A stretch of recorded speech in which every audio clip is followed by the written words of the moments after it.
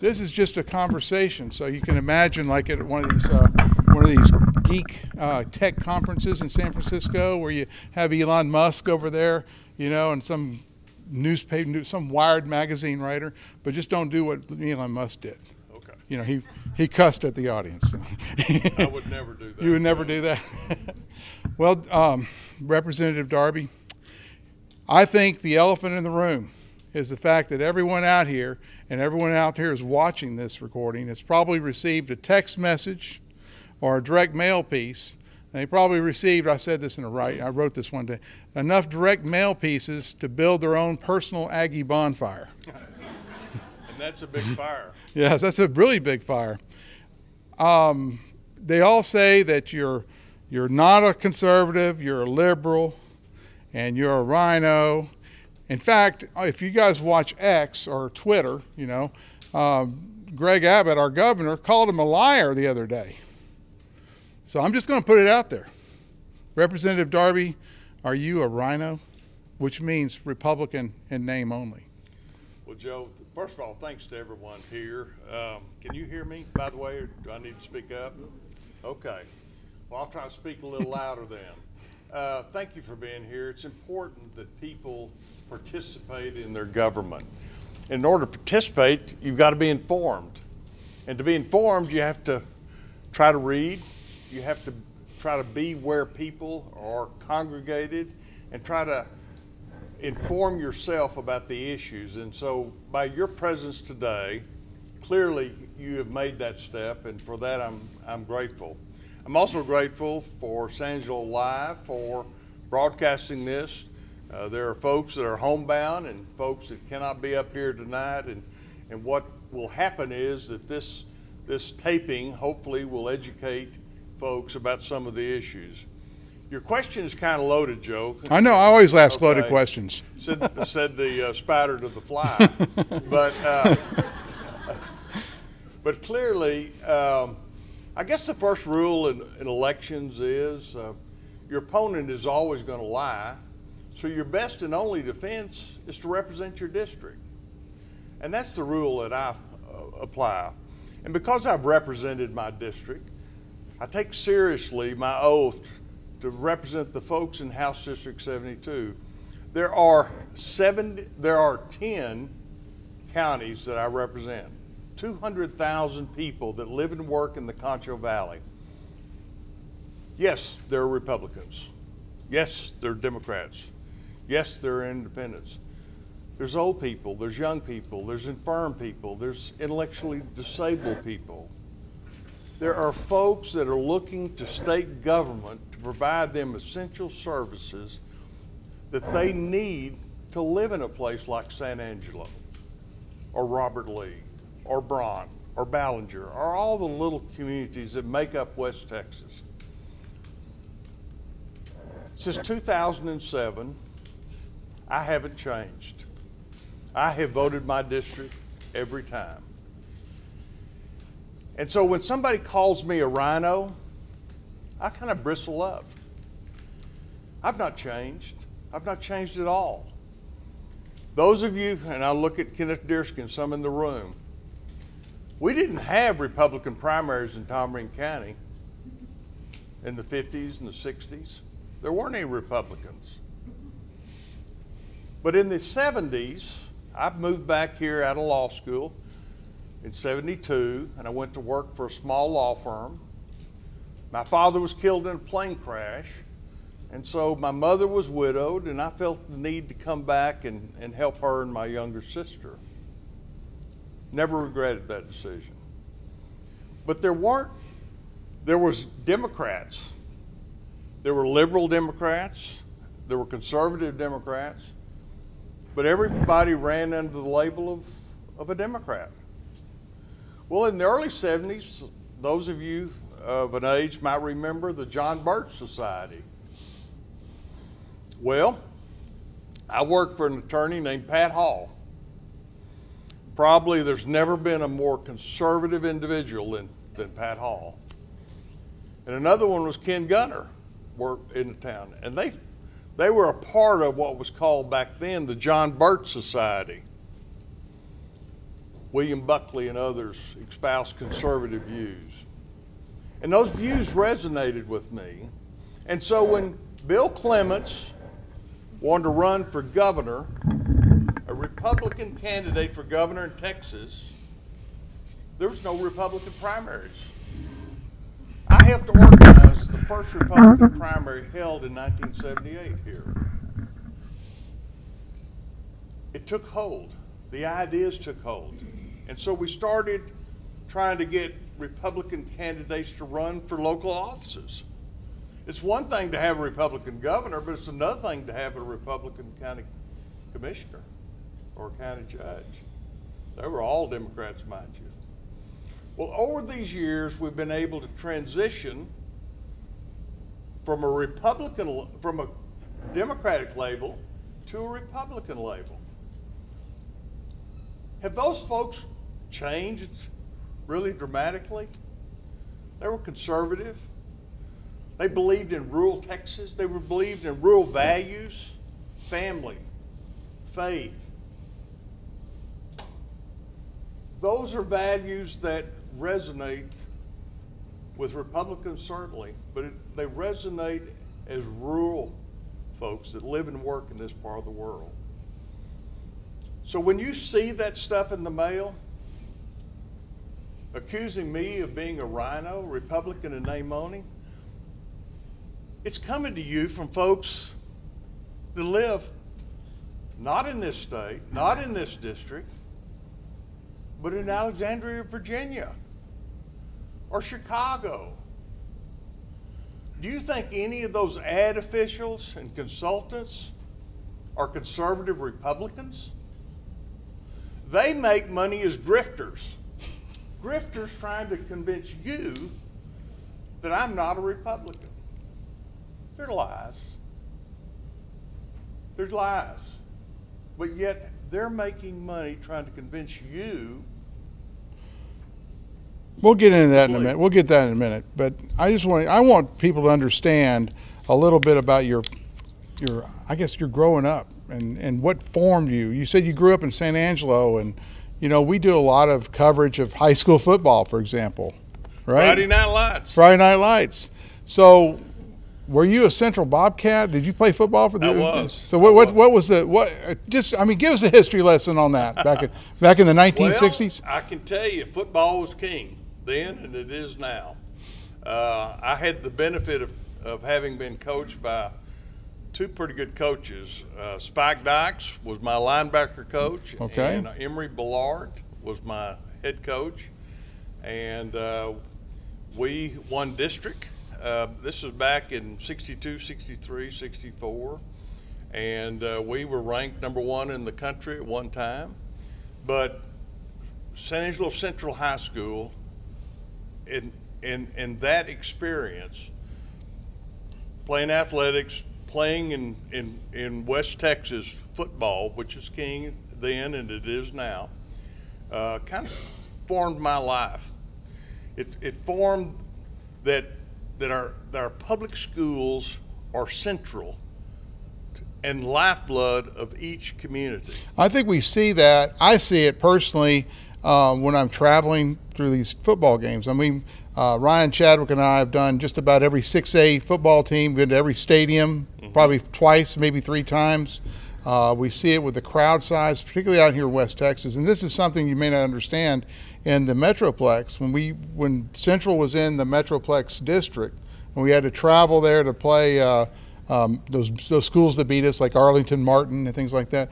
The stadiums weren't as full they're big. I mean, there's more people going to show, and the smaller the school, the more people are in the stadium. Absolutely. So that kind of got me trying to think about this big issue that hit the, the Texas legislature this year, which was these private school vouchers. Now, I'm a conservative, just like everyone else is a conservative.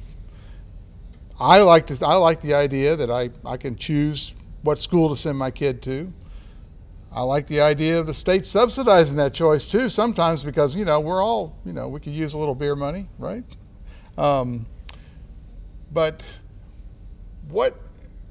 Just give me your vision of public schools and why you stood up. I mean, you stood up against a firestorm of, of opposition in the House right now because you stood up for public schools.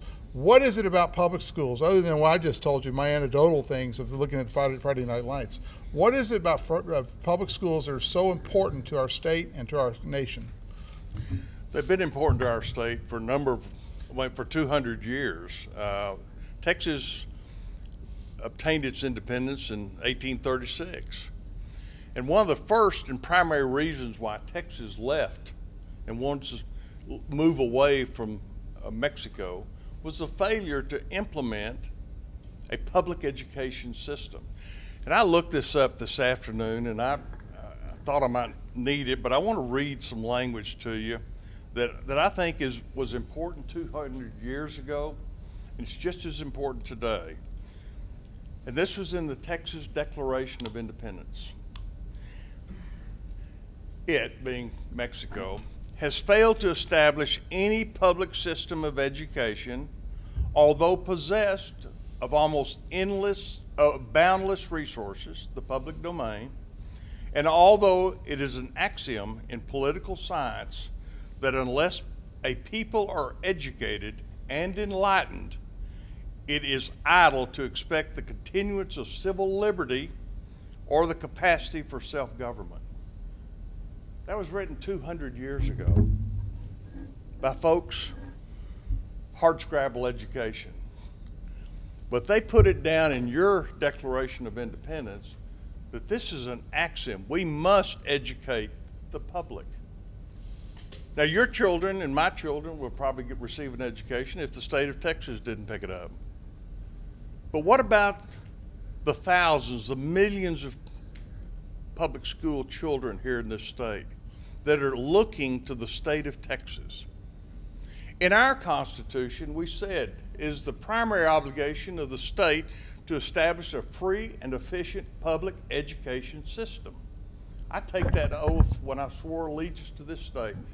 When I, I took that oath to say the first obligation that I feel is important is we must maintain a public education system. And so when, when the proposal comes out that we need to take public dollars and move them to private or parochial schools without any accountability, without any transparency, without any open Well, let's stop. Let's stop right there. Okay. Is it taking public dollars, which now the, the, the, De- the Declaration of Independence and the Texas Constitution says we mm-hmm. have to provide an education for everyone, universal education.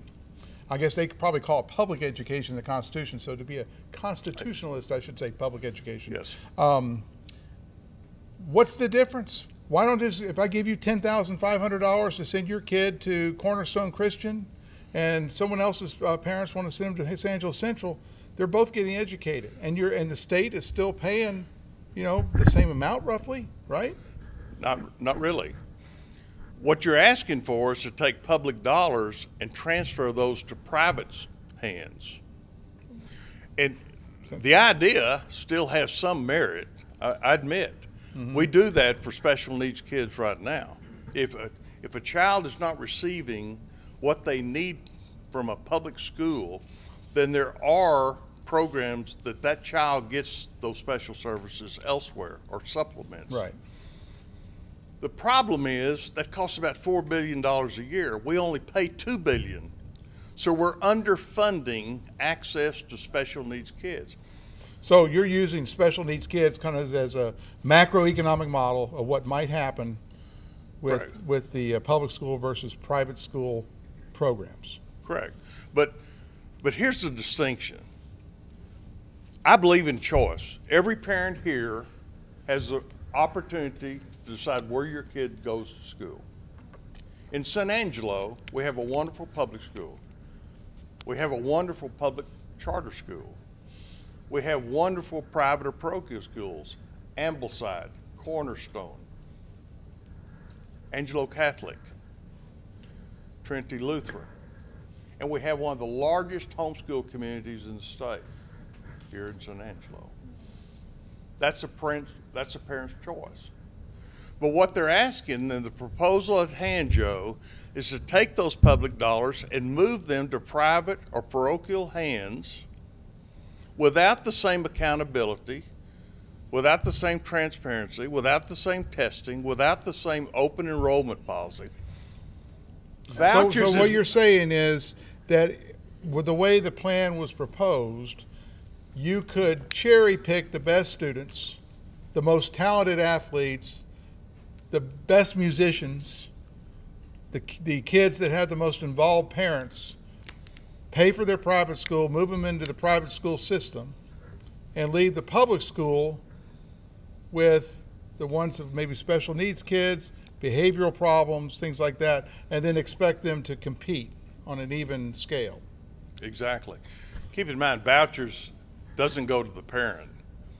When you show up with a voucher to the school, the, the school has the choice whether to let that child in or not. If that child doesn't look like other students at that school, doesn't So behave there, like there's no anti-discrimination. Uh, cap- I mean, doesn't this law pre- prevent you from being discriminating? no. Okay, No. so you, so they can just do whatever they want to. That's why they're private. they use private funds for that. but would- I would think But when federal, you but when you when in. you put public dollars, government dollars, Mm-hmm. into that private environment, then government strings are, should be attached. To but they're not.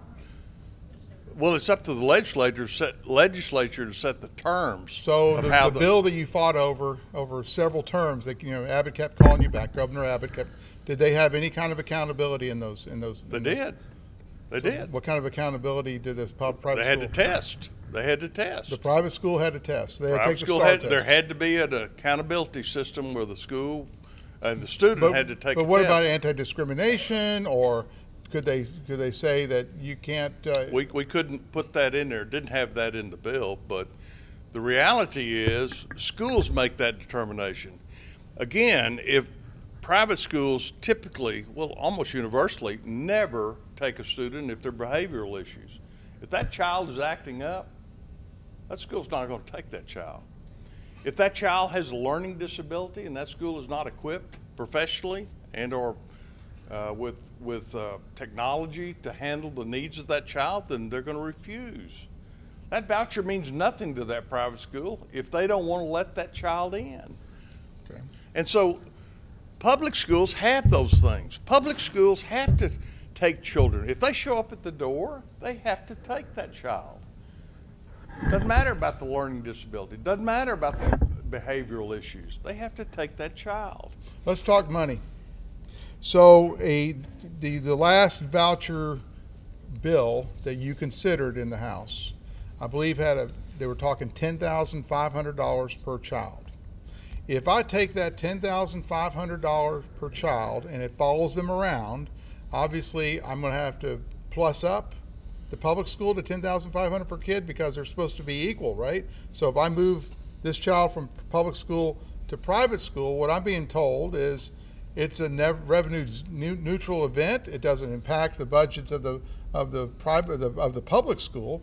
And where I'm getting at is like Robert Lee or Christoval. When my kid went to Christoval, had they had 20 people in the graduating class. That's a small school.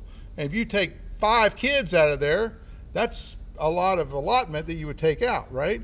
Absolutely. So is this is it, is it an even trade, a revenue neutral thing, or what does it do to the public school? Well, first of all, the basic allotment for schools is sixty-two hundred dollars. Just to make sure you understand what the basic, what he's talking about, the basic allotment for schools would be every student. That's why the SAISD or San Angelo ISD is so worried about their enrollment, right? They have about thirteen thousand five hundred kids. They get paid what six thousand, Six thousand two hundred.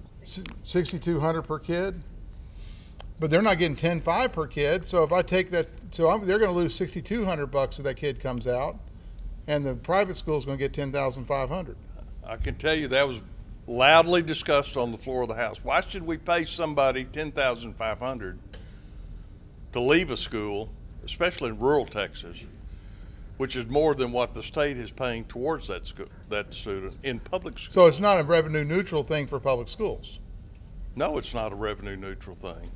And, I mean, we, we tried, um, we, we tried, the Public Education Committee listened to a lot of folks and tried to, tried to structure a plan that if you leave a rural school, then the state would continue paying that for two years, but at that, at the end of that time, They would lose all support for that child. So you continue to pay the sixty-two hundred bucks for two Correct. years? And, and he, he, here's, this is not conservative to create an entitlement program, a third entitlement program. We have a entitlement program, it's called the Public School Foundation Program. We have a lot of entitlement programs. We have Medi- Medicare. And we have Social Security. Uh, I mean, don't get, don't yell at me. I know y'all paid into it. We all paid into it, right? But um, entitlement programs are overcoming the budget of the federal the federal budget. I mean, they have very little discretionary money to spend. Just like the state of Texas, I'm sure. I think you're down to what 18 percent that really is. It's actually twelve percent. 12 percent. Yeah, and And, so was this money coming? That this I understand this money was coming out of that small little slither that that's shared with Texas DPS and a lot of in prisons and a lot of other essential services. To give you an idea, this entitlement program that the governor and others wanted to create would be four billion dollars a biennium in the third and the fourth year. Four billion dollars. Give you an idea how much that is. So it's so it's about two billion dollars a year. Two billion dollars a year in the third and fourth year. There are mm-hmm. projections to go to seven to eight billion in in the out years. How much is public school right now? Roughly How much we paid in this foundation school program? About ninety billion. Ninety billion dollars. Mm-hmm. And so we're going to add this other thing that's going to be grow quickly to four to eight to ten Well, billion. You know, there's some in the state want a universal voucher program. There are currently about a million students, 250,000 in private schools and 750,000 students in being homeschooled. Mm-hmm.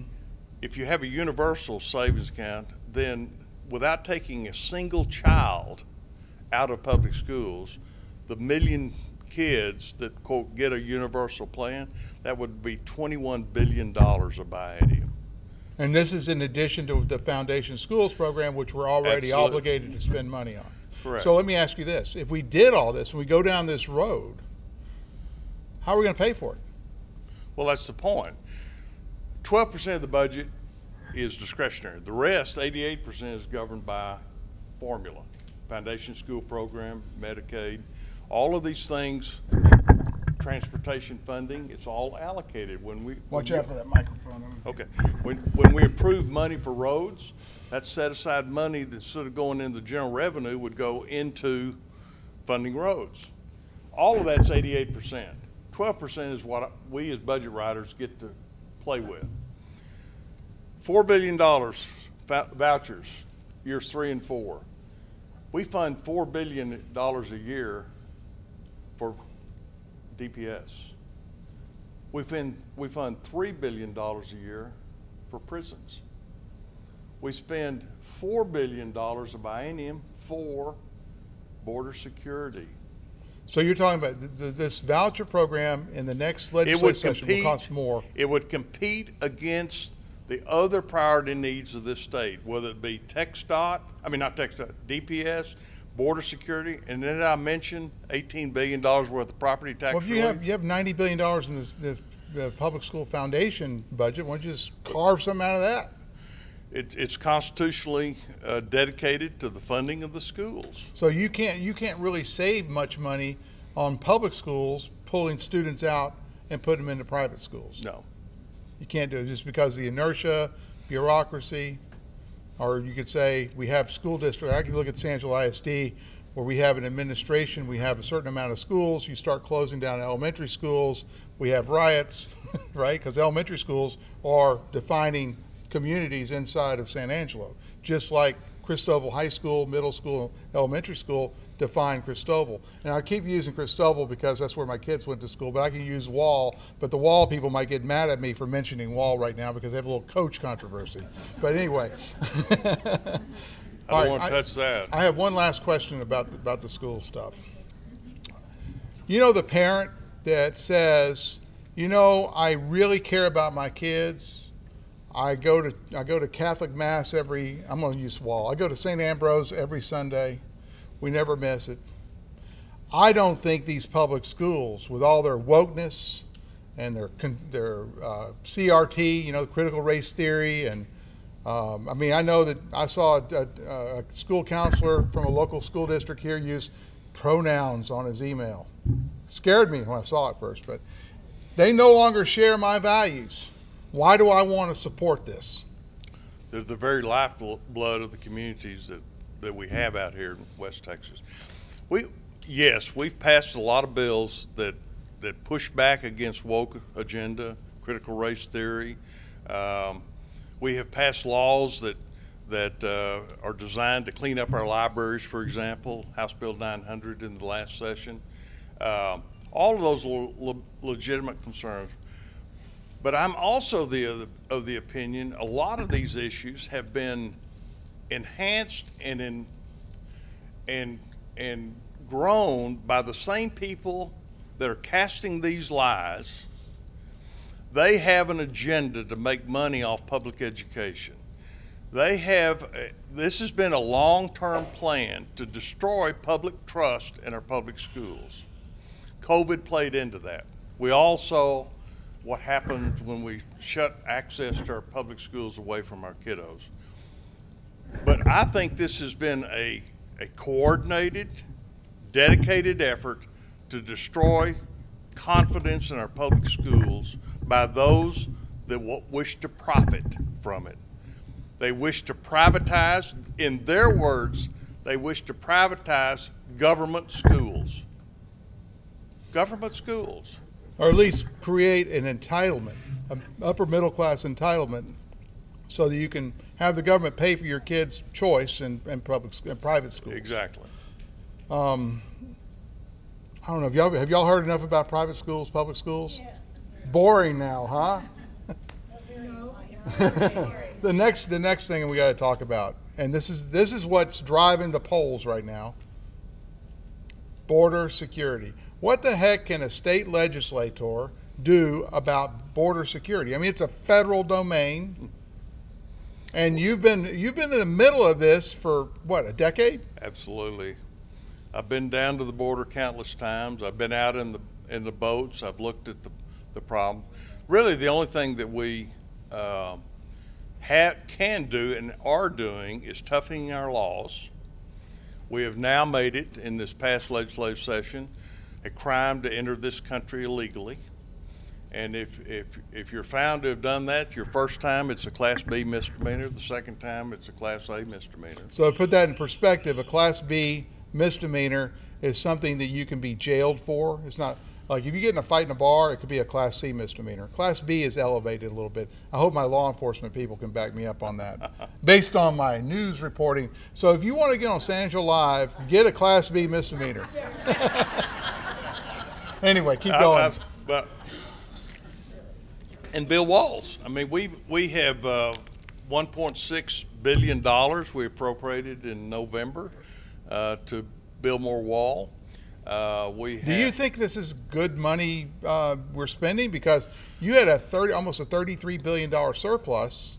That's a lot of tax cut for property taxes. And you guys know, I know, back in May, June, what was the biggest issue? Property tax valuation. We had a $32 billion surplus this year. Should we be spending that on, on border security the way we are, at the rate we are? Well, are you saying suggesting we needed to spend more on property tax relief? I think so. And less on border security? Well, I mean, I think that would be a conservative I mean, Republican position. We spent almost $12 billion the last three biennium on border security, doing a job that the federal government should have done. Can we bill the government, the federal government? I certainly hope our, our elected officials are keeping that in their back pocket and that when we have a Republican administration, we can get the maybe we can present a bill and maybe pay the bill. Yeah. Yeah. All right. Border security, obviously big. The other tripe I hear out there on the internet, uh, you know, do y'all watch the Tucker Carlson interviews? Uh, he interviewed uh, uh Ken Paxton uh, probably two months ago. you, if you haven't seen it, go look at it. In there, he talked about how in the Texas House how it's built up, and you cannot be elected speaker without being a you know, without getting Democrat support. Ken Paxton said that, yeah. right? So I was want an inside scoop on this. In 2018, I don't know if any of you guys know this, but uh, our representative Drew Darby almost was elected speaker. So what's tell me about the process of, of getting well, and, and do you really have to have Democrats support you? No. No, in fact, the last three speakers have been elected um, with uh, Republican support. Uh, you we, we, cha- we, cha- we changed the process. So how, how did you, ch- so you changed the process so you can be elected speaker without Democrats voting? Assuming the Republicans hold the majority in the House, which is 76 votes, Mm-hmm. then after the election, the Texas House meets in Republican caucus in December, and we meet for the purpose of determining our preferred candidate for Speaker. And it obviously has to be unanimous, right? Doesn't have to be. You have to have two thirds vote of the caucus to be the preferred candidate. Okay. And so we, the last two uh, cycles, we've elected a speaker based upon two thirds. It was actually hundred percent of the Republican caucus, and on both times. Uh, So even these, even these uh, wild right-wing conservatives to, or right-wing Republicans today who say they don't like the speaker voted for him to be speaker? the Republicans elected that speaker. Was it pretty much unanimous? I guess it had to be. Yes. Yeah. All right. So Well, there may have been one or two. from, from the from the from the knowledgeable seats. One did. So, One so didn't. why do we why do we have to um, why do we have to appoint uh, Democrats to committees or to committee chairmanships? Well, let me point out a, a numerical problem. Do you like your property tax relief? Yeah, I love my. Did you property- like increasing your homestead exemption from forty to a hundred thousand? Oh, I loved it. Did you like uh, uh, setting up a Texas University fund that benefits Texas Tech University and Yes. Angelo State University and All these wonderful. how about things. i- infrastructure, water? Yes, we need more water out here. Uh, how about uh, how about uh, um, uh, So internet access? are you all of that? All uh, all that I'm telling you is that it sounds good in principle, but when you start trying to total up support for initiative that makes sense, you have to have 100 votes. There are 85 Republicans. You got to get to 100 if if you start isolating folks without participating in the process, then you can't get those things that we all here find valuable and worthy.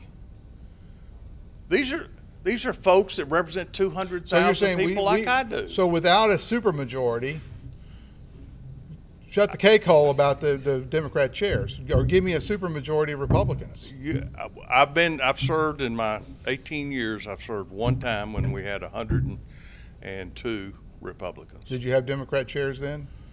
Yes. Yes, Because you have to make sausage. because because get stuff there are issues that that we have to collaborate on for the good of Texans. Is the system built that way?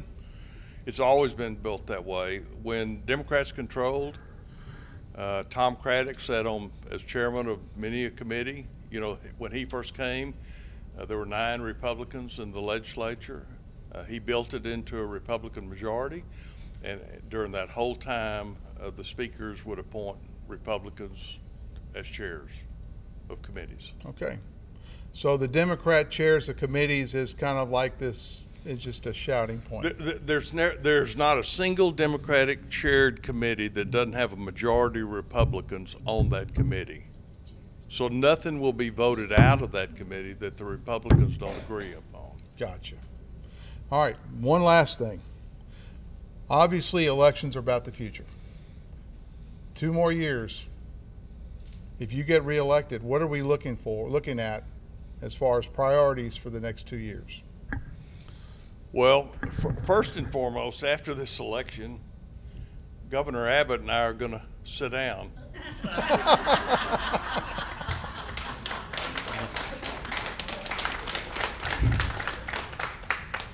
Maybe we'll smoke, smoke a peace pipe, but certainly we will talk about everyone in this room and about how you're going to meet the needs that your family is going to have to need over the next two years. That requires cooperation. That requires communication. And I fully. I, I just, want- I, you know, there's. It seems to me, just looking at it from the news pers- news media perspective, there is no communications between the Lieutenant Governor Dan Patrick, who runs the Senate, and the Speaker of the House. Does the governor even talk to any of them? I heard the governor doesn't like the lieutenant governor. I mean, what is going on with Republicans not liking Republicans and not getting stuff done? It's awful, isn't it? I just Well, I, I can I can tell you this that almost all the senators are former House members. We call them housebroken. They're all housebroken, and so some of them can control themselves, some can't. But uh, but we have one-on-one commu- communications. I mean, members of the legislature talk to members of the Senate. We talk. I mean, we, we talk about what's important, how to craft something. And in the end, yes, they kind of control the agenda from afar, but on a daily basis, we control the agenda. If we want to vote something out of the committee, then we can. If we want to consider a bill, we can. And so, you know, So there is I- I look- communication. There is communication. Absolutely, there's commu- communication. There should be. There should be communication.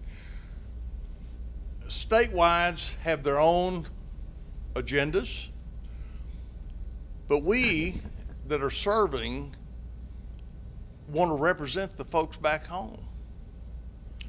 And I go back to my initial statement. The best defense to somebody lying about you is to vote your district. And everyone in that room is supposed to follow that. Now, I may not agree with them, but they're supposed to vote their district. And I have to look at that. I went, go, why in the world did they vote for that? Mm-hmm. Well, their district is different and it requires it. So I think what the public want, they don't want somebody to go down there and stick a, a sword in the ground and said, from this point I will not retreat. you know, that's that's not a Right. that's not a policy that long term benefits Texans. Do you think you can make up with uh, Governor Abbott? Absolutely. Folks, this is about one vote. I have carried Governor Abbott's bills and water since he became governor. Before he was governor, he was an attorney general. And if you remember, we've had some problems here in the in the uh, in the district. He honored his word. I was one of the first elected officials to endorse him for governor. I've carried two redistricting maps under his leadership, keeping our Republican majorities. I've carried Article 5 Convention of the States. Y'all know what that is? Some do. It's like we'll have a we'll have a constitutional convention call and rewrite the Constitution. I was the committee chairman in the House for that bill. So we had a big celebration when he signed that bill. We had mm-hmm. three or four hundred people at the governor's mansion. Old Drew. But not right now. Not right now. Not right now. He told me before I took that vote, he looked me in the eye and said, Drew, I need your support. Governor, Need your support on the on the voucher bill. vouchers. Okay. I said, Governor, it's bad for my district. I can't. He said, Will you walk the vote? Walking means I just conveniently off the floor at the time. A lot of people do that. So walking the vote means just not be there. just not be there. And then you can come back after the vote and register your vote one way or Where, another. which That's is- where it doesn't matter. yeah, that's chicken way of doing it. Or you, he said, well, you consider white lighting it. White light is even worse. It's saying, I'm not going to vote yay, I'm not going to vote nay. I'm just going to be a white light in the middle. I told him I'm not a white light guy. He said, well, you know that if you do this, I'm going to find somebody and run against you and endorse them. Governor, with all due respect, I do not represent you. I represent the folks back home. There you go. And that's and that's why we're here today. That's that's why we're here. I knew what was going to happen. I knew this was going to happen. Did you imagine how much money they would pour into it? No, no. Woo. Now, just looking at the money, they're spending. I don't know anywhere. It's real hard to figure out because these are all these are all different PACs, and I've looked at all the campaign finance reports. Which, by the way, uh, Representative Darby's opponent, as of last time I looked, which was like Friday evening, she hadn't even filed her campaign finance report for February fifth. Um, but they're spending probably close to 15,000, 20,000 a week. That's what that's what Oh, I'm no, thinking. more than that. You think it's more than oh, that? yeah, yeah, absolutely. That's fifteen thousand a mailer. Uh, how many of y'all getting just one mailer a week? You Maybe know? I was looking at just the TV how many buys. text, how many text messages you're getting? You know, how many how many TikTok ads or whatever? They're spending a lot of money. I'd, I'd say million, half, two million dollars perhaps. Uh, and I'm do, not do you think? Do you think you're going to survive? Do you think you're going to know get? I'm going to survive. I've got a beautiful wife.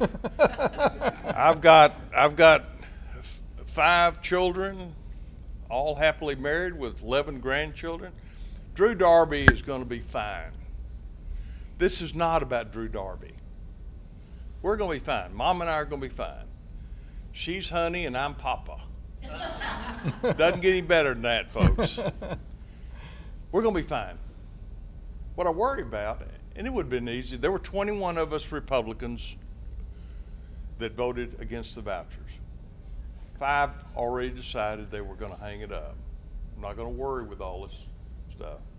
There's 16 of us that took a very important vote for our districts. And they're, they're coming for those 15, 16. But if if the governor and the folks that live outside this coun- this state are successful, then they'll simply run over rural Texas. And I can't say it any plainer than that.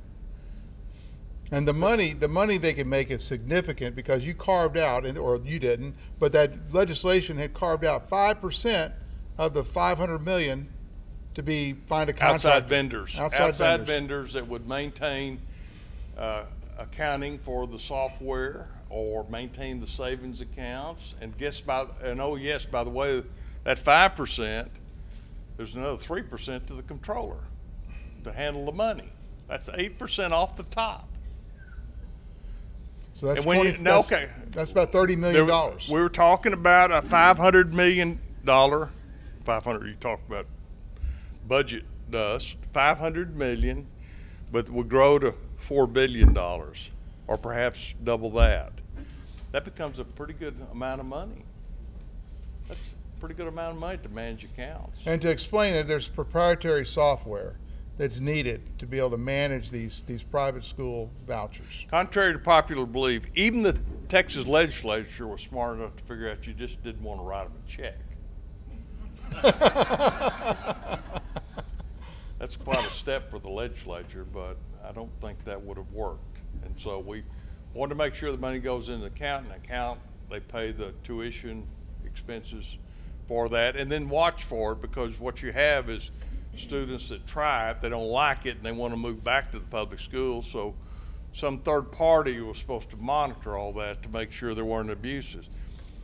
And so they're all donors right now from Virginia. Well, there's one six million dollar donor donor out of Pennsylvania that makes money off software.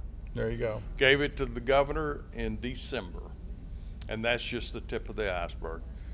So this has been uh, the conversation. How was it? Was it a good conversation? Representative Drew Darby, thank you for Thank you, being Joe. on our show.